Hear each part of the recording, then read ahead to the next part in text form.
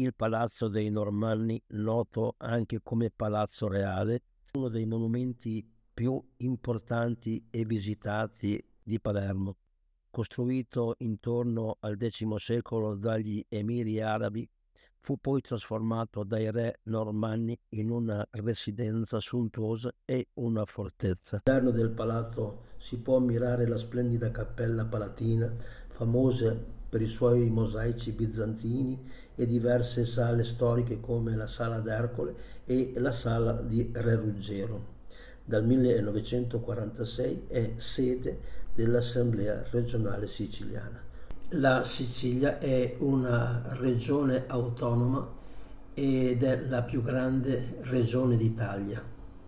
La lapide che si trova davanti alla facciata del Palazzo dei Normanni a Palermo è un'imponente testimonianza storica. Essa commemora la liberazione della Sicilia dagli arabi da parte dei Normanni.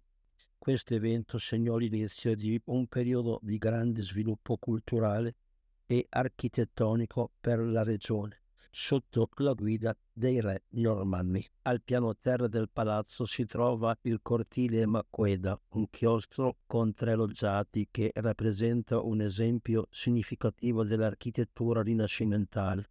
Questo cortile è stato utilizzato per secoli come spazio di rappresentanza e di incontro. All'interno del Palazzo dei Normanni, noto anche come Palazzo Reale, si trova il Museo archeologico regionale Antonino Salinas. Questo museo è uno dei più importanti della Sicilia e offre una vasta collezione di reperti archeologici che raccontano la storia dell'isola. All'interno di questo imponente palazzo o palazzo dei Normanni si trova anche la cappella palatina che avremo modo di poterla vedere in un secondo momento.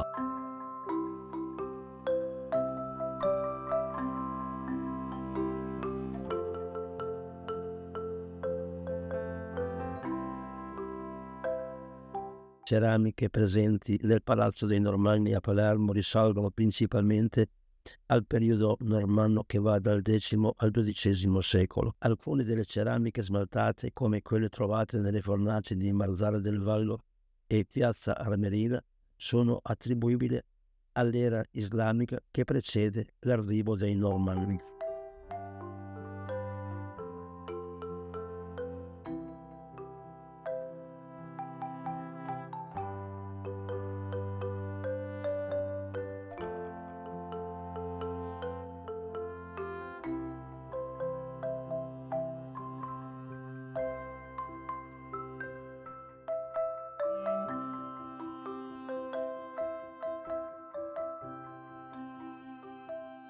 Nei sotterranei del Palazzo dei Normanni a Palermo si trovano reperti che risalgono a diverse epoche storiche. Tra i più significativi ci sono le fortificazioni puniche, databili tra il V e l'VIII secolo a.C.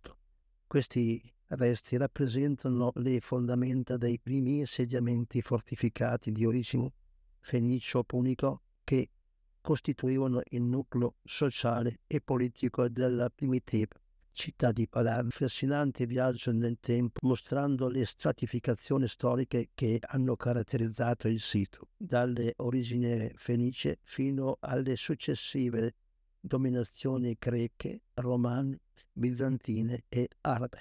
Uno dei giardini più noti è il Belvedere di Monreale, un luogo perfetto per trascorrere momenti di relax immersi nella natura. Questo giardino è apprezzato sia dagli appassionati della botanica che dagli amanti dell'architettura.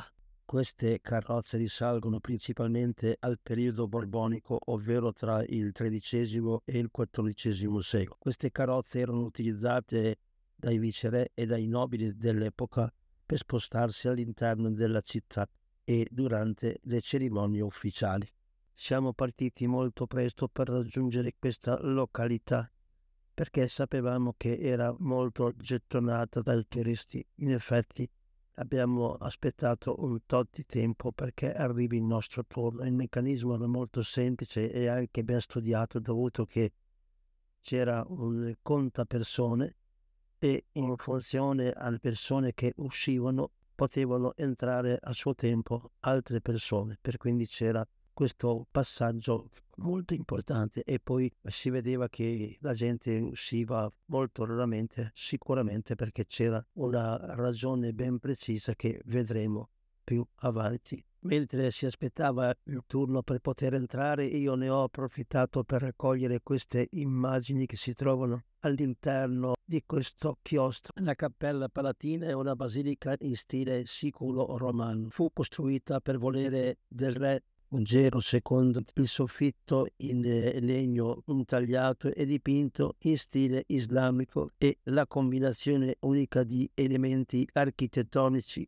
bizantini e islamici. Dal 2005 la Cappella Palatina fa parte dell'umanità dell'UNESCO. I mosaici della Cappella Palatina rappresentano una vasta gamma di scene bibliche e nel Vecchio Testamento i mosaici raffigurano scene della creazione, il paradiso terrestre nel Vecchio Testamento i mosaici raffigurano scene della creazione, il paradiso terrestre, la storia di Noè, Abramo e Giacobbe. Nel Nuovo Testamento i mosaici rappresentano la vita di Gesù, inclusi la natività, i miracoli e la passione.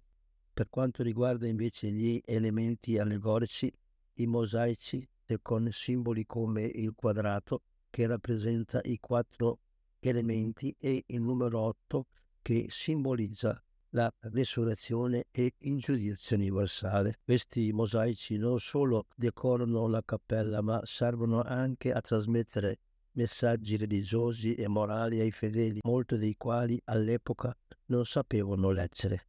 I mosaici della Cappella Palatina di Palermo sono composti da migliaia e migliaia di tessere dorate. Queste tessere ricoprono quasi ogni superficie della cappella creando scene del Vecchio e Nuovo Testamento, oltre a, a raffigurazione di personaggi biblici, angeli e santi. L'arte bizantina è davvero affascinante, i mosaici della Cappella Palatina sono un esempio straordinario di questa tradizione artistica. La Cappella Palatina di Palermo attira un gran numero di visitatori ogni anno. Nel 2014, dopo un censimento, ha registrato circa 370.000 visitatori. Dopo la proclamazione come patrimonio dell'umanità dell'UNESCO, dal 2015 in poi si sono triplicati i visitatori, raggiungendo quasi un milione di persone all'anno che hanno visto questa bellissima opera bizantina. Cappella Palatina di Palermo misura circa 32 metri di lunghezza e 12 metri di altezza è divisa in tre navate separate da colonne in granito e decorata con splendidi mosaici dorati che coprono quasi ogni superficie. L'arte bizantina è una delle tradizioni artistiche più longeve e influenti della storia, sviluppatasi a partire dal IV secolo d.C. fino alla caduta di Costantinopoli nel 1453. In questa caratteristica fanno parte lo stile ide- idealizzato, l'uso dell'oro, il significato religioso. Teatro Massimo Vittorio Emanuele di Palermo è il più grande teatro lirico d'Italia e uno più grande d'Europa. Inaugurato nel 1897, il teatro è famoso per la sua straordinaria acustica e la sua architettura neoclassica eclettica il teatro ospita una vasta gamma di spettacoli, tra cui opere, concerti e balletti.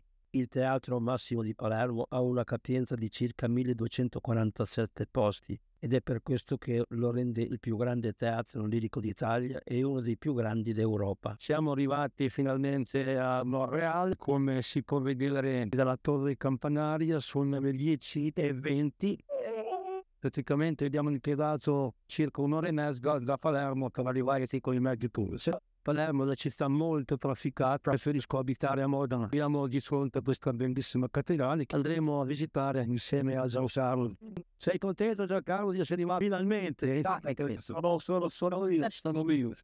Eh, ti conosco, ti riconosco, eh. Grazie. Però Davanti alla cattedrale di Monreale si trova la fontana del Tritone. Questa fontana, situata al centro della piazza Vittorio Emanuele, è di forma circolare e presenta una vasca in marmo. Al centro della vasca c'è una scultura di Mario Rutelli datata 1881 che raffigura un uomo, il tritone, che lotta e vince contro la furia dei draghi emersi dalle acque. All'ingresso della cattedrale di Monreale si trova una statua di re Guglielmo II. La statua raffigura il re mentre offre il modello della cattedrale alla Vergine Maria, che è posta di fronte a lui. Questa rappresentazione è legata a una leggenda secondo cui la Vergine apparve in sogno a Guglielmo II, indicandogli il luogo dove era nascosto un tesoro che avrebbe usato per costruire la cattedrale. La cattedrale di Monreale, conosciuta anche come Duomo di Monreale, è uno dei più importanti esempi di architettura normanna in Sicilia. La cattedrale fu costruita per volere di Guglielmo II d'Altavilla, re di Sicilia, e fu consacrata nel 1182. Secondo la leggenda, la Vergine Maria apparve in sogno a Guglielmo II, indicandogli il luogo dove era nascosto il tesoro che avrebbe usato per la costruzione della cattedrale. La cattedrale combina elementi architettonici normanni, bizantini, arabi e romanici, creando un'armonia unica e affascinante. La sua facciata principale è decorata con archi intrecciati e mosaici e presenta due torri imponenti. L'interno è famoso per i suoi splendidi mosaici dorati che compongono circa 6.500 metri quadrati di raffigurando scene bibliche del Vecchio e Nuovo Testamento. Uno dei punti focali è il mosaico del Cristo Pancreatore nell'abside centrale che domina l'intera cattedrale con la sua maestosità. I mosaici raffigurano una vasta gamma di scene bibliche, inclusi episodi della vita di Gesù, della Vergine Maria e dei Santi. Dal 2015 la cattedrale di Monreale è parte del percorso di Palermo arabo-normanno e la cattedrale di Cefalù e Monreale riconosciuti come patrimonio dell'umanità. La cattedrale è una delle principali attrazioni turistiche della Sicilia attirando visitatori da tutto il mondo per la sua bellezza e importanza storica. Monreale è una piccola frazione e i suoi abitanti sono circa 39.000. La cattedrale indicata è una delle attrazioni turistiche più visitate della Sicilia. Ogni anno attira circa più di 600.000 visitatori. La cattedrale di Monreale è un'imponente struttura architettonica è lunga circa 102 metri, larga 40 metri. La facciata è incorniciata da due torri massicce tipicamente normanne, anche se una delle torri non è mai stata completata. È possibile salire sui tetti della cattedrale di Monreale per godere una vista panoramica mozzafiato sulla città e sui dintorni. L'accesso ai tetti avviene tramite una scala situata all'interno della cattedrale e chi ha buone ginocchia può ovviamente salire tranquillamente sulla sommità. Le colonne all'interno della cattedrale sono finemente decorate con tessere di mosaico che formano motivi geometrici e floreali. Queste decorazioni aggiungono un ulteriore livello di bellezza e complessità all'interno della cattedrale stessa, rendendolo un vero capolavoro dell'arte normanna. I capitelli delle colonne sono anch'essi eh, decorati e raffigurano scelte mitologiche e storie del Vecchio e Nuovo Testamento. Questo dettaglio artistico contribuisce a creare un ambiente ricco di simbolismo e significato religioso. Il Duomo di Monreale possiede tre navate. La navata centrale è larga il doppio delle navate laterali e tutte e tre terminano nel transetto e nelle tre absidi situate in fondo. Il Duomo contiene diverse cappelle laterali, tra cui le più note sono la cappella di San Giovanni Battista, la cappella di Santo Castrense, cappella di San Benedetto e cappella del Crocefisso. Diversi papi hanno visitato il Duomo di Monreale nel corso degli anni. Tra questi Papa Giovanni Paolo II visitò il Duomo il 20 novembre del 1982. Più recentemente Papa Francesco ha visitato il Duomo il 15 settembre del 2018. I capitelli e le sculture dei leoni presenti nel Museo diocesano di Monreale risalgono al periodo normanno, quindi al XII secolo. Queste opere sono parte integrante del ricco patrimonio artistico del Duomo e del chiostro, che riflettono l'influenza delle diverse sculture che hanno dominato la Sicilia in quel periodo, tra cui quella normanna, bizantina e araba. La scultura della Madonna con bambino nel Museo diocesano di Monreale è una delle opere più significative. Questa statua, conosciuta anche come Madonna del Popolo, è stata realizzata in legno policromo e risale alla metà del XVI secolo. La Vergine è raffigurata con il bambino in braccio avvolta in vesti riccamente decorate. Il Museo Diocesano di Monreale. Questo museo ospita una vasta collezione di opere d'arte religiosa, tra cui dipinti, sculture e oggetti liturgici. Tra le opere esposte ci sono lavori di artisti famosi come Pietro Novelli e Antonello Gagni. Il Museo Diocesano di Monreale ospita una vasta collezione di opere d'arte religiosa. Tra le più significative ci sono fibula in argento dorato e pietre policrome realizzate da un orfo siciliano intorno al 1592. Pastorale, la filigrana d'argento, rame dorate e pietre policrome, opera di un argentiere messinese del 1692 ostensorio in filigrana d'argento e pietre policrome anch'esse del 1692, croce a stile in argento sbalzato e cesellato realizzata da un argentiere siciliano nell'ultimo trentennio del XVII secolo. San Michele Arcangelo in alabastro, opera di maestranze trapanesi dell'ultimo ventennio del XVII secolo. Piviale in raso ricamato datato intorno al 1692. Queste opere rappresentano solo una parte della ricca collezione del museo che include anche dipinti, sculture e altri oggetti liturgici di grande valore storico e artistico. Il chiostro della cattedrale di Monreale è uno dei capolavori dell'arte normanna in Sicilia, costruito tra il 1170 e il 1180, fa parte del complesso monastico benedettino voluto da Guglielmo II. Il chiostro ha una pianta quadrata di 47 metri per lato, con arcate a sesto acuto, sostenuto da colonne gemelle decorate con intarsi, mosaici e motivi arabeggianti. Ogni colonna è unica con capitelli finemente scolpiti che rappresentano scene bibliche, animali e motivi vegetali. Questo spazio era il cuore della vita monastica dove i monaci passeggiavano, meditavano e svolgevano le loro attività quotidiane. Oggi il chiostro è una delle attrazioni principali per i visitatori del Duomo chiostro è composto da 228 colonne. Ogni lato del chiostro ha 26 arcate a sesto acuto sostenuto da colonne gemelle che contribuisce alla sua straordinaria bellezza e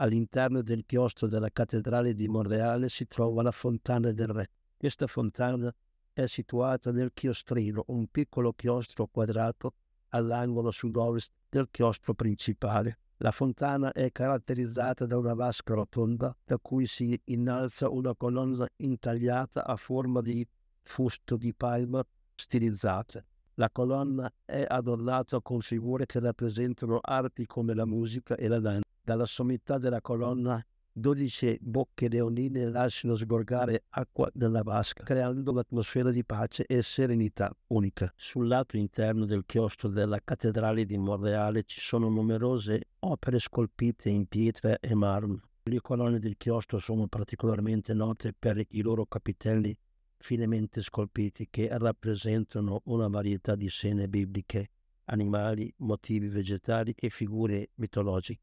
Ogni capitello è unico e mostra l'abilità degli artigiani che li hanno realizzati. La facciata del Duomo di Monreale è un esempio straordinario di architettura normanna con influenze arabe bizantine, costruita a partire dal 1172 per volere di Guglielmo II di Sicilia.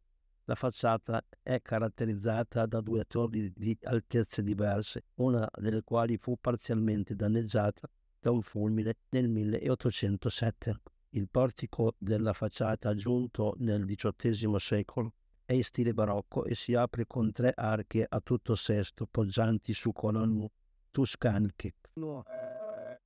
Campana dice che possiamo andare. A time a poco. Destino non si